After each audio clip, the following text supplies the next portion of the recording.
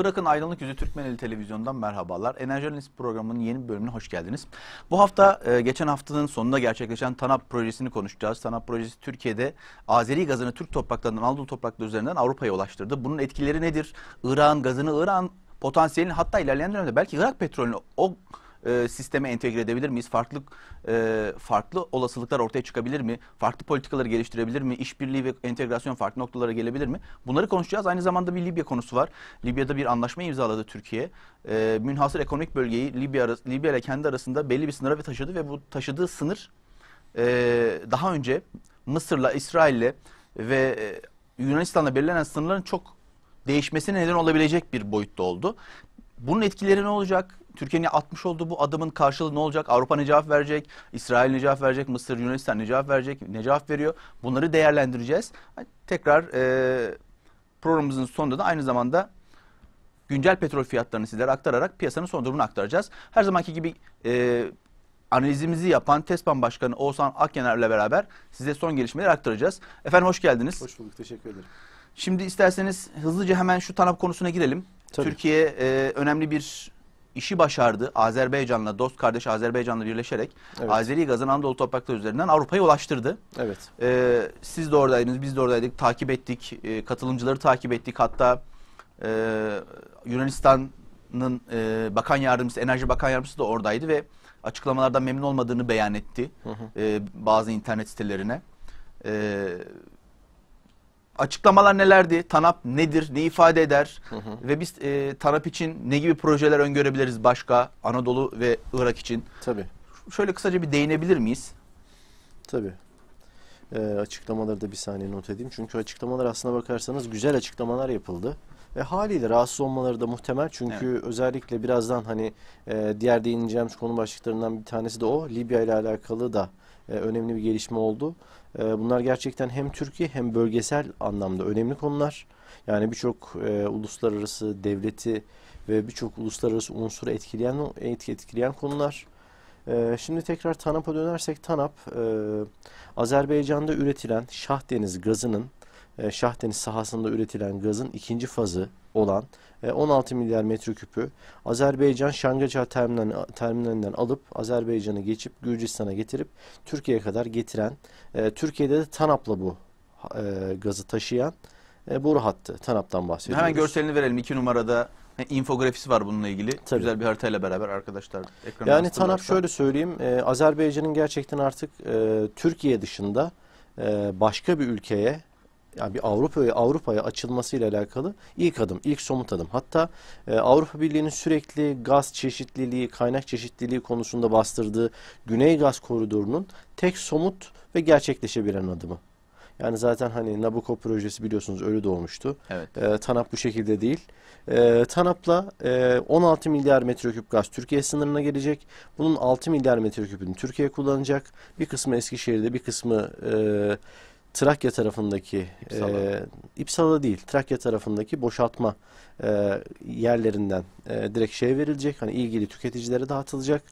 Tabii 6 milyar metreküpü Türkiye'de kullanılacak. Kalan 10 milyar metreküpü de e, Yunanistan ve Arnavutluk üzerinden İtalya'ya nakledilecek. Yani e, neredeyse bu 10 milyar metreküpün 9 milyar metreküpü yıllık bazda konuşuyoruz bu arada. 9 milyar metreküpü İtalya piyasasını hedefliyor. İtalya piyasasında biliyorsunuz bir hap e, fiyatlandırma mekanizması sabit. E, bu kullanılıyor. Yani İtalya'nın da e, 170 milyar metreküp civarında bir yıllık tüketim var. Yani bu 70 milyar metreküp içerisinde aslına bakarsanız önemli bir kalem olacak bu da. Yani İtalya'nın özellikle hani bütün Avrupa'dan bahsetmesek de İtalya'nın enerji güvenliği için çok önemli. Ha bu arada Balkan ülkeleri için de çok önemli bir adım olacak. E, Cumartesi günü açılışını gerçekleştirdiğimiz e, tören özellikle bunun Avrupa'ya ilk taşınmasıyla alakalıydı. Yani çünkü TANAP aslında bakarsanız daha önce bitti. Yani 11,4-11,5 milyar e, dolar civarında bir bütçe öngörülüyorken e, TANAP ekibinin ve TANAP'a destek veren e, yine BOTAŞ'ın e, katkılarıyla, destekleriyle bu 6,5 milyar dolara bitirildi. Yani bu aslına bakarsanız büyük başarı. Tabii petrol fiyatlarının, demir çelik fiyatlarının düşmesi gibi konular da burada etkili oldu. Yani bu haliyle taşıma maliyetlerini de düşürmüş oldu. E, TANAP'a genel anlamda bu şekilde bakalım. E, genel anlamda bunu söyledikten sonra bu arada mesela şimdi ilk e, buradan Yunanistan e, Bakan Yardımcısı her ne kadar bu söylemlerden rahatsız olsa da şimdi buradan ilk gaz alacak olan kendileri. Evet. Yani şu an e, yani dün itibariyle cumartesi günü itibariyle e, Yunanistan'a gaz verilmeye başlandı. Yani ilk e, yani ilk çıkış noktasından Yunanistan gaz almaya başladı. Bu önemli bir konu. evet. E bundan sonra da alacak. Yani ilgili Yunanistan, Bulgaristan e, ve diğer o ilgili Balkan ülkeleri belli bir hatla, belli bir network, gaz network'üyle birbirine bağlı oldukları için yine e, bunun Yunanistan üzerinden diğer ülkelere zaten dağıtılacağını biliyoruz. Hani belli ölçülerde. Hani çok büyük oranlarda değil. Lakin zaten ilgili ülke, ülkelerin gaz tüketimleri de çok yüksek değil. Hani bunu da vurgulamak gerekiyor. Balkanlardaki ülkeler. Tabii. Ama e, Balkanlarda yani şimdi bu bu güzergahtan ulaşılabilecek iki tane büyük e, gaz tüketim noktası var. Biri Baumgarten, ikincisi İtalya. E, zaten Baumgarten ve İtalya'da birbirine aslına bakarsanız bağlı. Şimdi buraya yine Türkiye üzerinden diğer bir boru hattı projesi olan e, inşallah onun da e, Lüleburgaz'a gelmesiyle alakalı açılışını e, tahminim 8 Ocak'ta yapacağız. Cumhurbaşkanımız öyle söylemişti. Putin gelecek diye. Türk akımı evet. Türk akımından Evet, aynen. Türk akımı boru hattı projesi. Türk akımında da e, 15,75 diyorlar da hani biz 15,75'i 16'ya yuvarlayalım. Türk akımından da ortalama 16 milyar metreküp Türkiye'ye gelecek. Şu an TANAP'la eş seviyede. Tabii hemen hemen eş seviyede. Kalan 16 da Avrupa'ya hedefliyor. Avrupa'da da muhtemelen bu e, hemen olmayacak. Yani o 16 iki tane line geliyor, iki hat olarak geliyor. Hattın bir tanesi Türkiye'ye veriliyor. Türkiye'nin tüketimine göre bakarsınız Türkiye 20 alır. Hani 16 20'ye yuvarlar ihtiyaca göre. E, bu arada şunu da vurgulayalım. Aldığımız en ucuz en ucuz gaz Rusya'dan. Yani e, bunu da göz önünde bulundurursak Rusya'dan daha fazla gaz almak yerine göre lehimize de olabilir.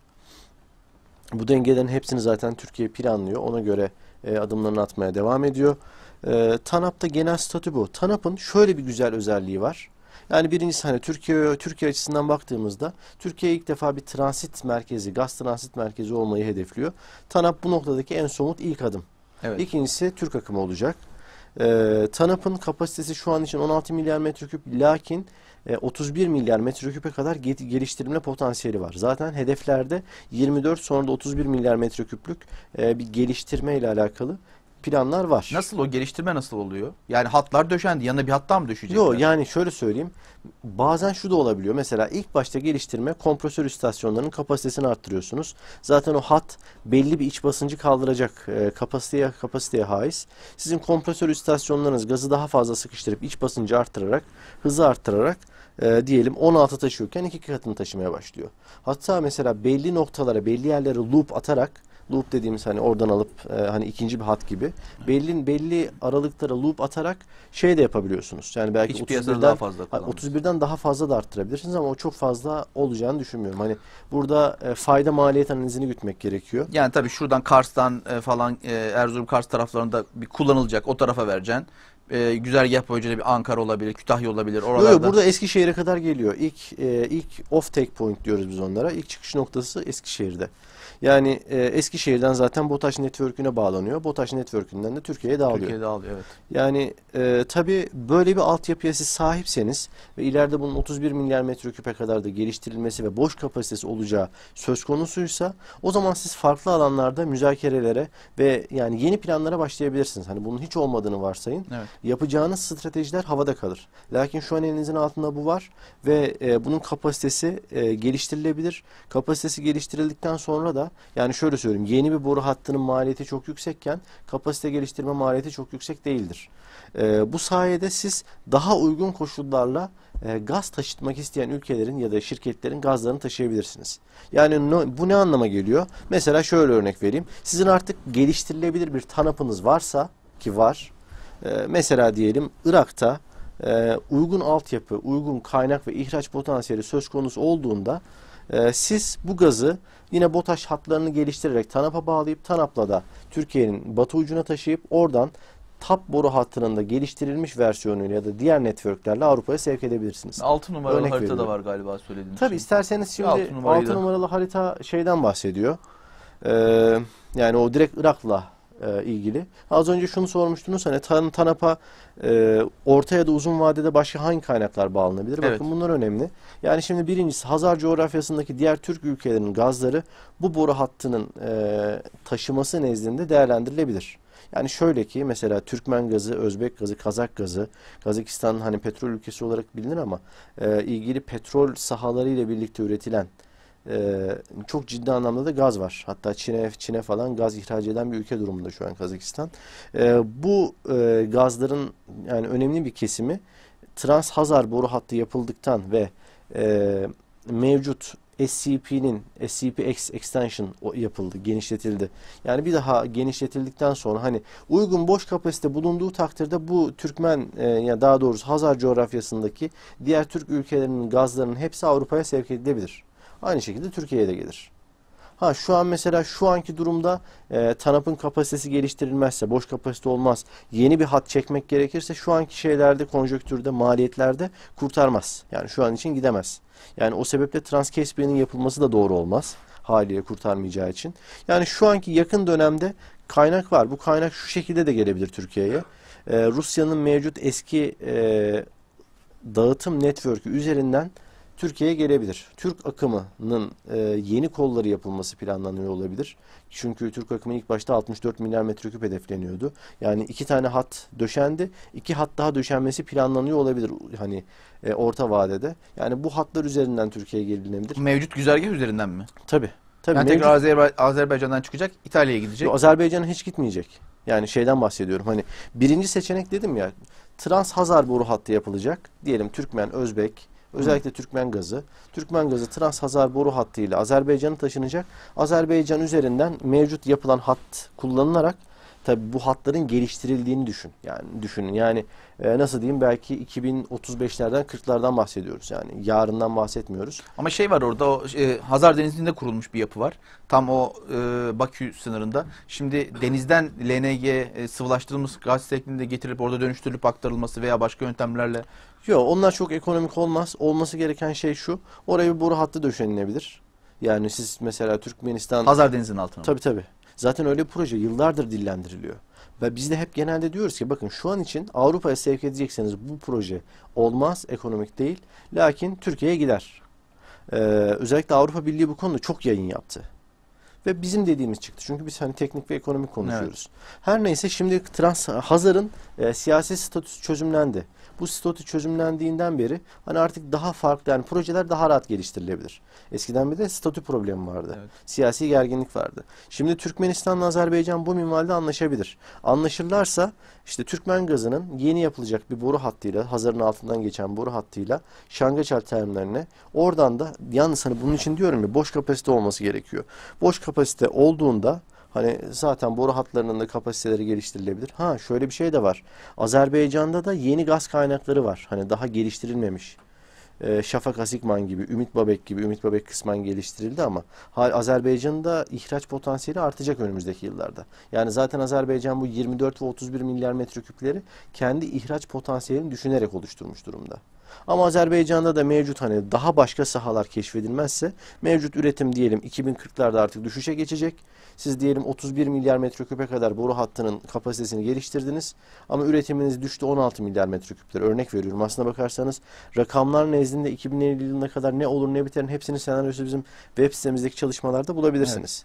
Ee, şu an hani e, genel rakamlar üzerine konuşuyorum. Diyelim bu şekilde oldu.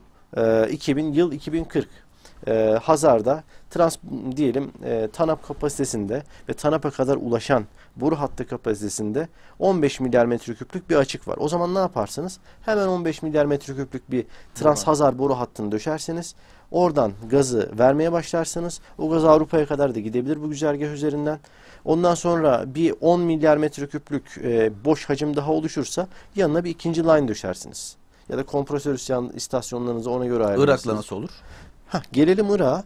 Şeyler için bu. Senaryonun birincisi bu. Ya yani aynı 2040'da zamanda- Azerbaycan gazı azaldığı zaman aynı zamanda Irak'tan da belki alınabilir. Tabii onu da, ondan da bahsedeceğim. Buyurun. Ha şunu da yalnız vurgulayayım. Mesela şu an için şu da yapılabilir. İlgili Türk ülkelerinin gazları Rusya'nın çok önceden yaptığı eski ama hala kullanılabilir bir gaz network'ü var.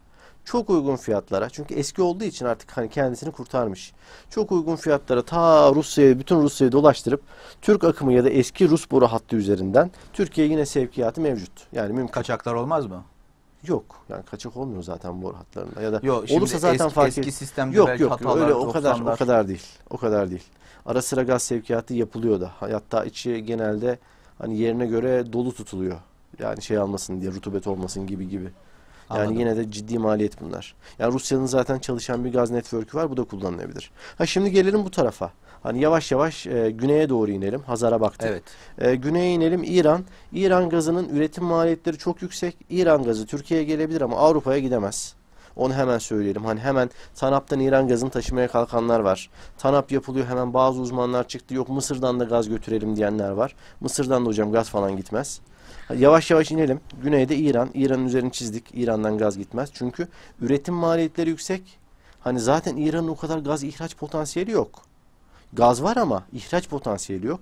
Yani İran bir gün ambargolar kalkar, ciddi yatırım ülkeye akar, ülke belini doğrultursa o zaman ne yapar? Kendi LNG tesislerini kurar, uluslararası piyasalara LNG ile satar.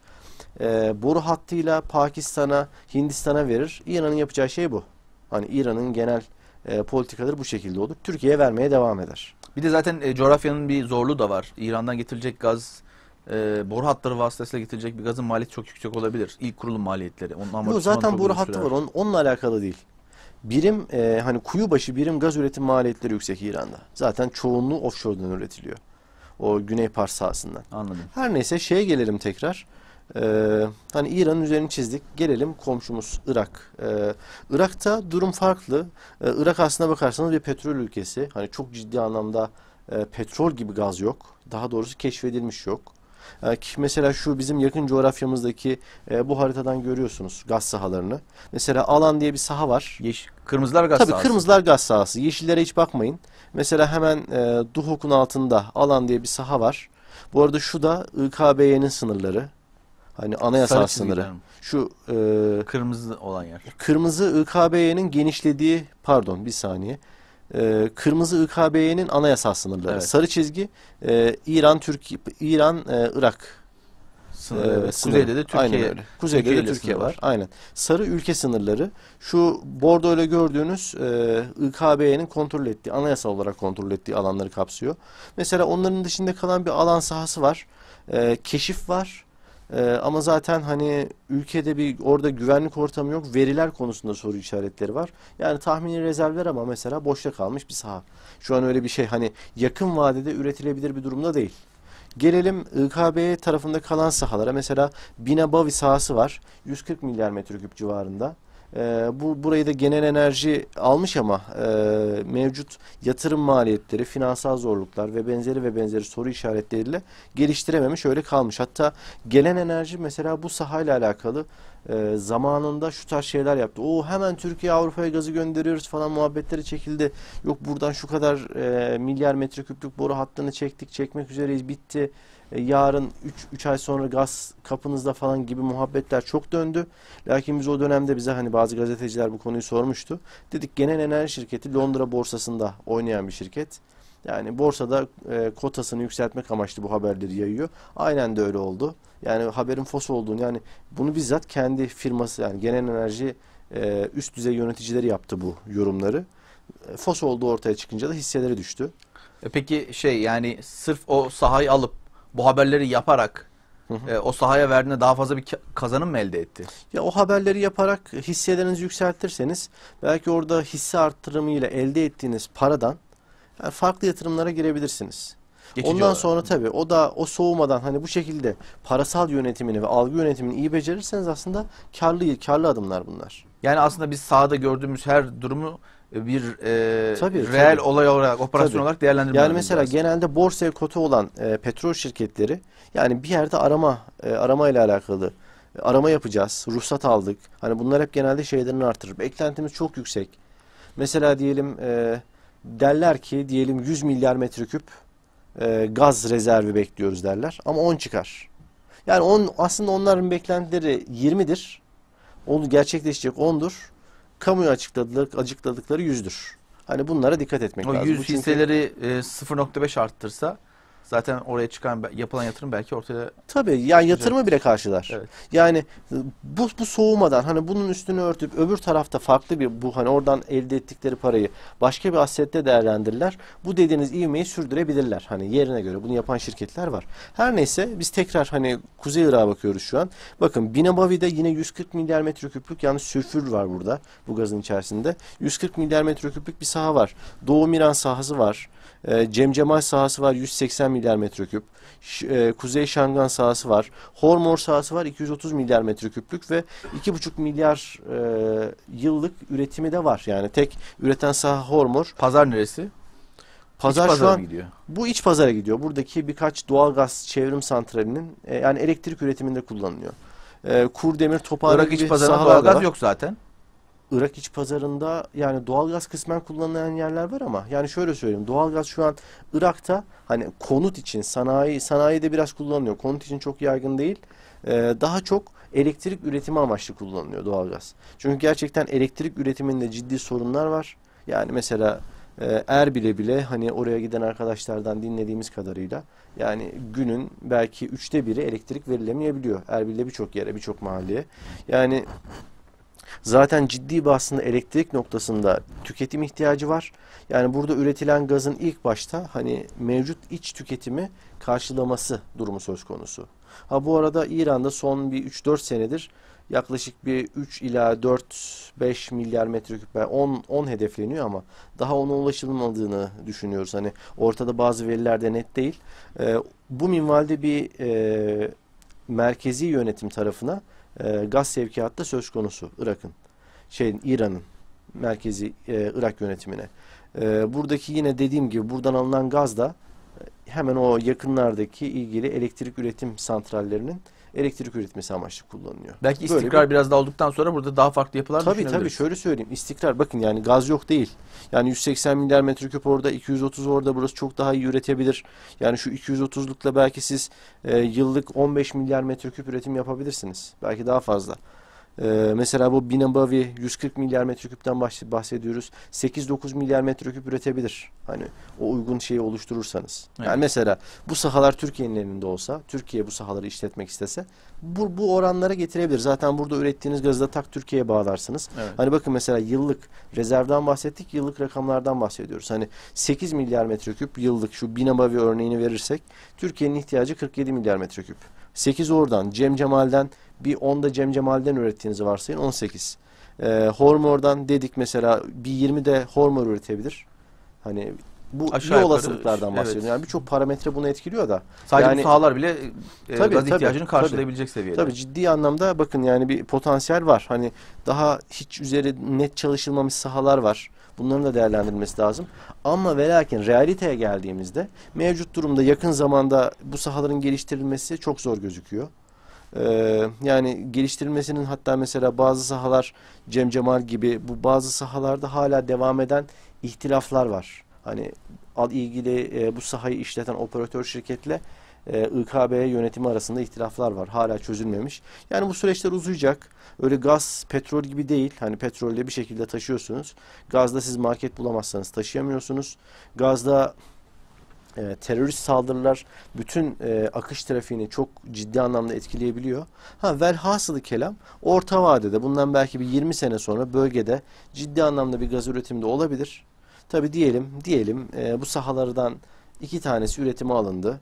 E, Irak'ta diyelim Irak'ın kuzey bölümünde Kuzey Irak'ta diyelim e, 15 milyar metreküp üretim oldu. Bu 15 milyar metreküpün 10'u içeride tüketildi. Belki hatta Türkiye vermek yerine merkezi yönetim diyecek ki hocam dur ne yani ilk önce benim ihtiyacım var bana gönder diyecek belki hepsi içeride tüketilecek. Ama diyelim hadi dediler ki hani 5 milyar metreküpünü de e, ihraç edelim. 5 milyar metreküp de Türkiye'ye geldi. Bu 5'in hepsi Türkiye'de de tüketilebilir. TANAP'ta boş kapasitesi var, kapasite varsa Avrupa'ya da sevk edilebilir. Yani Irak'ta kaynak var ama soru işaretleri var.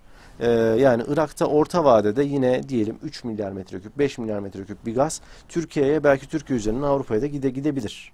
Bu Yıllık. söz konusu tabii. Şimdi ondan sonra Suriye'ye atlayalım. Suriye'de zaten çok az gaz var. O da kendine hani kendi e, çarkını çevirmeye yetiyor. Offshore'a gelmezsek Suriye offshore'unda, Lübnan offshore'unda potansiyel var. Deniz sahalarında yani. Tabii. Ee, Lübnan Ha bu arada mesela şöyle oradan gelelim Doğu Akdeniz'e.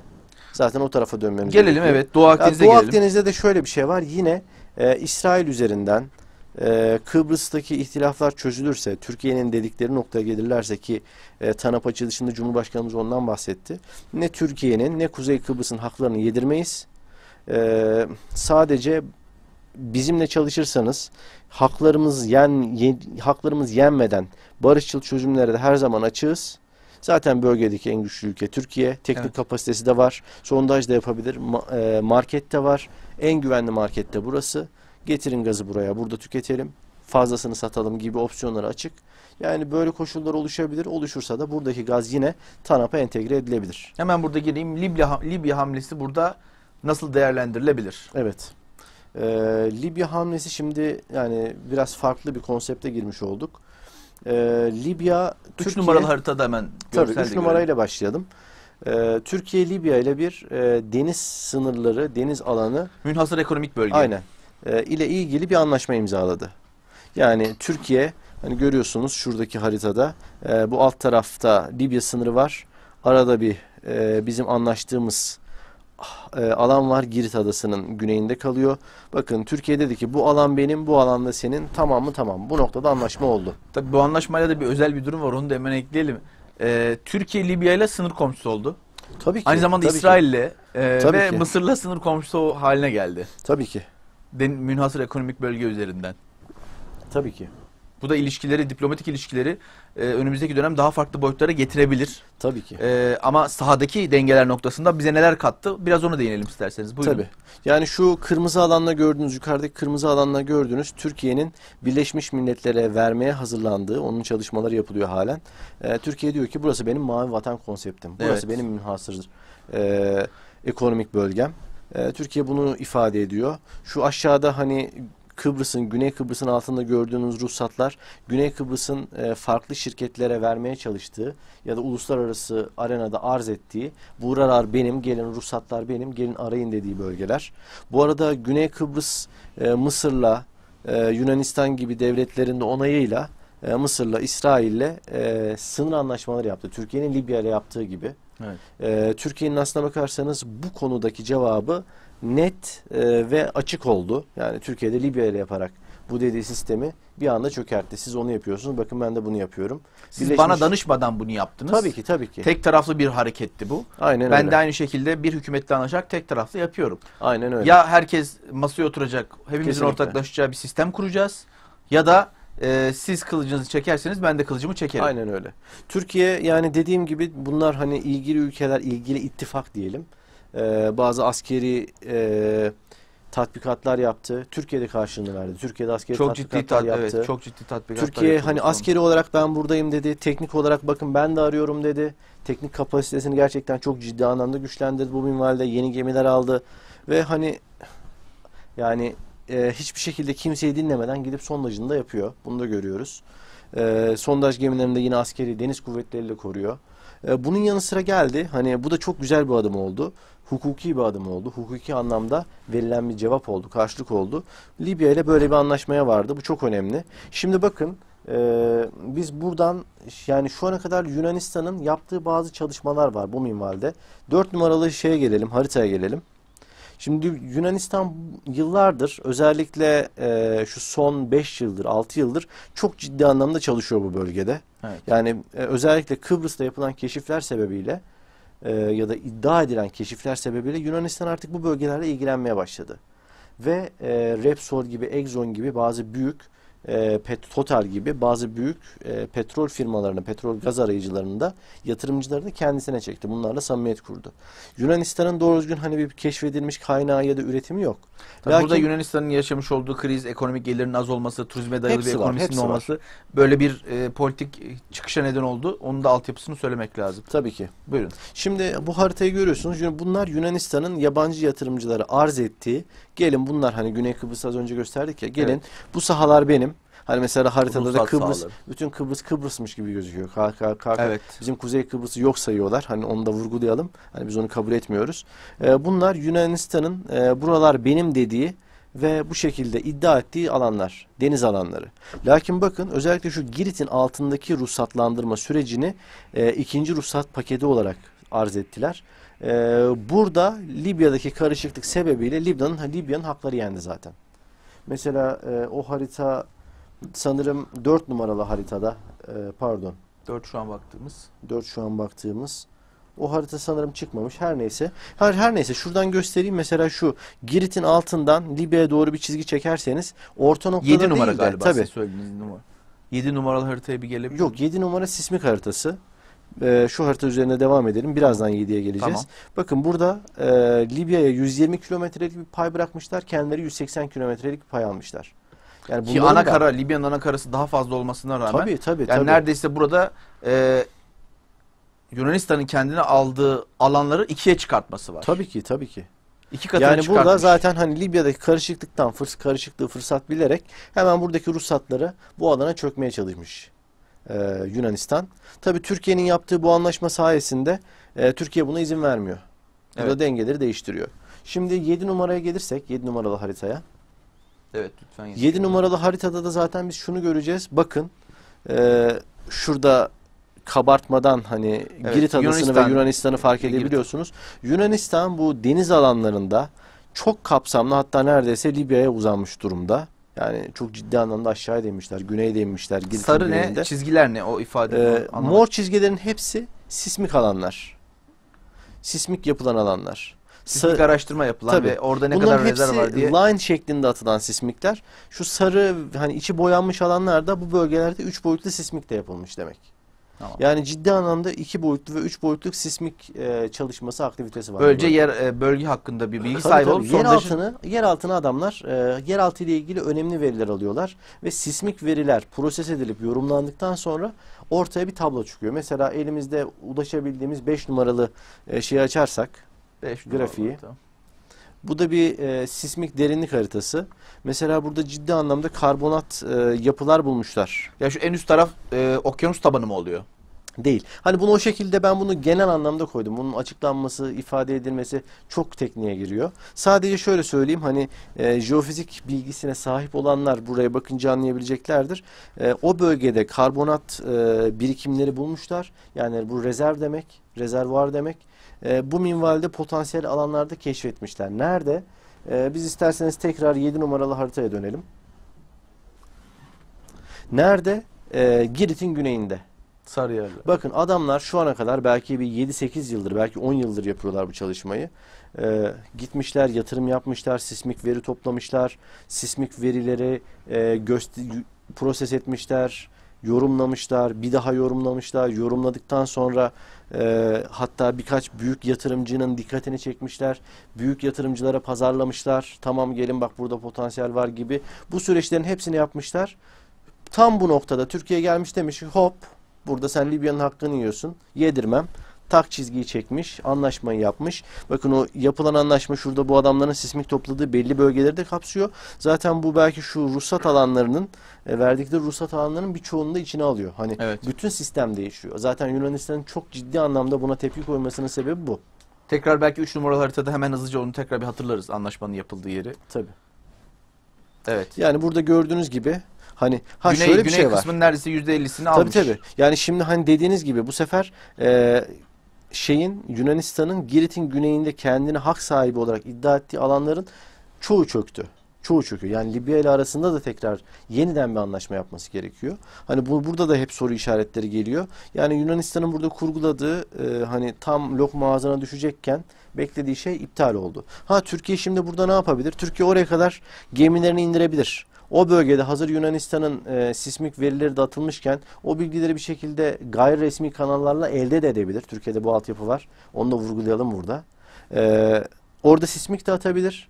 Askeri gemileriyle gidip sondaj da yapabilir ya da diyelim e, Yunan yani oraya yabancı şirketler orada sondaj yapmak istediklerinde Türkiye oraya gelip izin vermiyorum kardeşim diyebilir. Yani aynen nasıl hani e, Kıbrıs'ın güneyinde benzer bir sondaj gemisi gelirken bizim e, deniz kuvvetlerimizin orada olması sebebiyle sondaj gemisi geri gittiyse bu bölgede de aynı şekilde yatırımcıları kaçırabiliriz. Yani demek ki ne yapacaksınız? Türkiye ile anlaşacaksınız. Ha bunun yanı sıra Türkiye Libya'ya, Libya'nın deniz alanlarıyla alakalı e, yine Libya'nın deniz alanlarında da araştırmayla alakalı ve e, petrol aramacılığıyla alakalı bazı girişimler yapılabilir, ortak projeler yürütülebilir. Libya'ya ihtiyaç varsa güvenlik noktasında destek de verilebilir. Hani bunlar da ayrı konular. Ben İşin şimdi ayrı şunu boyutları. merak ediyorum. Burada e, yapılan anlaşma yani e, Girit'in kendi alanı da olması lazım. Yani biz şimdi direkt e, tam köşesinden geçiyor Evet. Münhasır Ekonomik Bölge çizgisi. Girit'in köşesinden geçiyor. Yani Girit'e orada bir alan alma hakkı çıkmıyor mu? Yani çıkıyor. Hukukta. adalarda bildiğim kadarıyla hani o iş biraz daha hukukçuların işi. Özellikle deniz hukuku konusunda uzmanların konuşması gerekiyor. Adaların da adaların hani ana kara gibi değil. Ee, kıta sahanlığıyla alakalı ya da deniz haklarıyla alakalı e, statüleri. E, tabii ki dediğiniz gibi öyle bir şey oluyor. Tabii burada böyle bir şey de var. Yani e, güç kimdeyse, kim daha kararlı durabiliyorsa, e, kimin imkanları daha fazlaysa o söz sahibi oluyor bu Bunu süreçte. şöyle mi algılamak lazım? Yani şu an masaya e, Türkiye çok sağlam bir yumruk vurdu vurdu. ve e, sizin istediğiniz paylaşım olmaz. Oturacağız, konuşacağız, bu işin orta yolu bulacağız. Aynen öyle. E, bu noktaya doğru götürmeye başlıyor işi. Kesinlikle. Çünkü e, bu haritanın ilanından sonra gerek e, Cumhurbaşkanlığı makamlarından gerek Dışişleri Bakanlığı makamlarından e, Türkiye'nin her türlü diyaloğa açık olduğuna dair beyanlar geldi. Evet. Açık bir şekilde oturalım ve konuşalım. Tabii ki, tabii ki. Uzlaşalım deniliyor. Ya zaten hani e, genelde uluslararası ilişkilerde bu şekilde hamleler yapmanız gerekiyor. Sahada ve masada hazır olmanız gerekiyor. Elinizde doneler olması gerekiyor ki yani siz A gösterip B alın ama B'yi alabilmek için A göstermeniz gerekli. Son dönemde. Trump bunu Amerika-Türkiye ilişkilerini sıkça yapıyor. Yani Gelmeden hemen önce bir Halkbank davasında bir adım daha çıkıyor. tabii tabii. Hemen e, başka bir konuda bir yaptırım, katsa yaptırımlar acaba gelecek mi gündemi ısıtılıyor. Tabii. Ee, ha biz de ne yapıyoruz? Biz de Barış Pınarı harekatını yapıyoruz. Biz de sahada yer alıyoruz öyle durumlarda. Evet. Yani karşılıklı. Yani o bir hamle yapıyor, biz bir hamle yapıyoruz. Satranç tahtası gibi bir durum. Aynen öyle. Peki e, Libya'da az çok durum belli oldu gibi. Evet. Şimdi e, ben tekrar Irak'a dönmek istiyorum. Hani Evet. Irak'tan bahsettik, boru hatlarından bahsettik ama Akabe e, boru hattından hiç bahsetmedik. Kısaca ona değinelim sonra petrol fiyatlarına geçelim mi? Tabii. E, yani aslında Akabe boru hattı üzerine daha fazla konuşulması lazım ama bu TANAP üzerinden, TANAP ve sonrasında kurulabilecek senaryolar üzerinden bir değerlendirme yaptık ya. Onu oraya entegre edebilir miyiz? Onu yok et yani bu, böyle bir hat kurulması o öyle bir hattın kurulması ihtiyacını yok edebilir mi? Ha ikisi Ee, farklı şeyler. Ee, onun için bir haritamız vardı. Ee, bir numaralı harita. Evet, bir Onu numaralı açabiliriz. harita lütfen. Yani e, Türk ve Irak Enerji Bakanlarının en son yaptığı Irak'taki görüşme neticesinde şöyle bir şey ortaya çıkmıştı. Hani Türkiye'den Irak'a elektrik vermek, elektrik satmak, elektrik göndermek. e, diğer taraftan da mevcut Kerkük e, yumurtalık petrol boru hattının e, Irak tarafında kalan e, hani yıkılmış ve yıpranmış artık işlemeyen kısmının yeniden inşası konusu söz Evet. konusu olmuştu. Ee, iki o iki projede mantıklı ve yürütülebilir bir durumda. Yani e, ki hani daha önceki bölümlerde de bahsettiğimiz gibi Irak'ın e, şu an için tek e, aktif somut çıkış kapısı Basra'dan. Bütün e, petrolünü Basra'dan e, dünyaya ihraç ediyor. Dünyaya ihraç ederken de üretim kapasitesini ciddi anlamda arttırmayı planlıyor. Üretim kapasitesini arttırırken de somut, e, işe yarar, ekonomik başka kapılar aramak zorunda. Yani başka yol rotalardan da petrolünü ihraç etmek istiyor. Ve bu ihraç nokta ihraç potan ihraç edebilir edebileceği güzergahlar içerisinde bakın daha önce hani bu haritada birçok boru hattını göstermiş. Evet. Hani dediğim gibi buradan mesela Kerkük'ten e, Kerkük sahasından yukarıya doğru giden o boru hattı şu an işlevsel değil. Eski bir harita muhtemelen. Şu e, yine Kerkük'ten e, şu aşağıdan e, Suriye'ye doğru giden ve Suriye'den e, açılan hani dünya pazarına açılan hat yine çok çok önceden zaten saldırıya uğramış ve iptal edilmiş durumda. Yani yıllardır öyle bir hat yok aslına bakarsanız.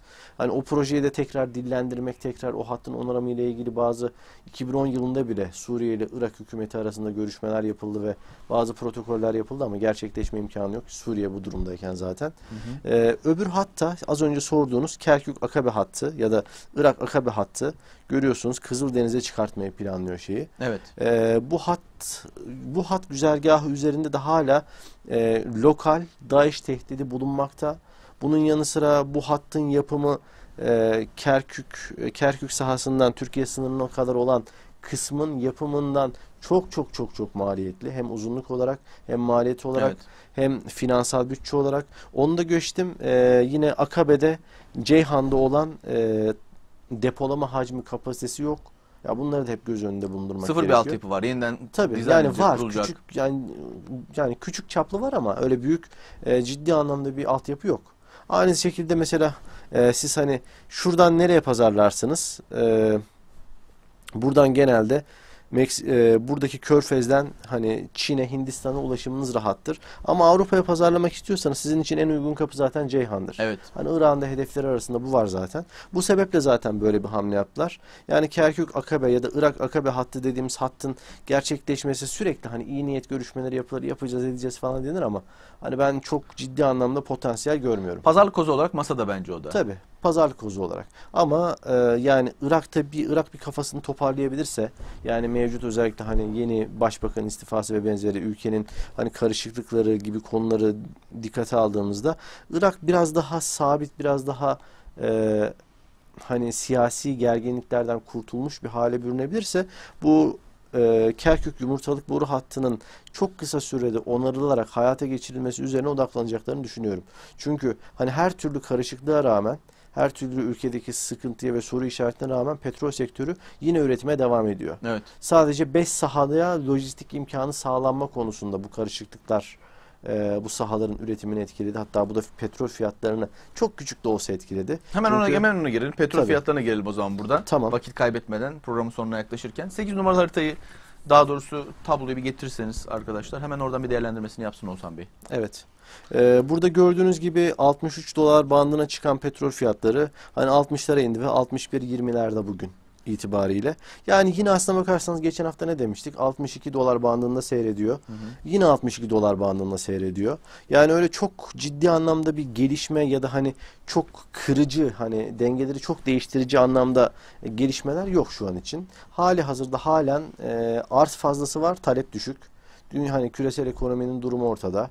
Dolar kurlarının hani bu seviyede hani Amerika'nın hala parayı geri çağırıyor politikasının yine e, düşürücü hani daha doğrusu petrol fiyatlarının aşağıda tutucu bir etkisi var. Bunu da görüyoruz. Yani mesela hani ha- küresel ısınma sebebiyle e, mevsim sıcaklıklı hani mevsim e, sıcaklıklarının e, hava sıcaklıklarının mevsim normallerinin üzerinde olması gibi durumlar da yine tüketimi azaltıyor. Özellikle doğalgaz fiyatlarını etkiliyor. Doğalgaz fiyatları da tersine özellikle hap mekanizmasıyla çalıştığı için petrol fiyatlarını da az da olsa etkiliyor. Bunları da söylemek lazım.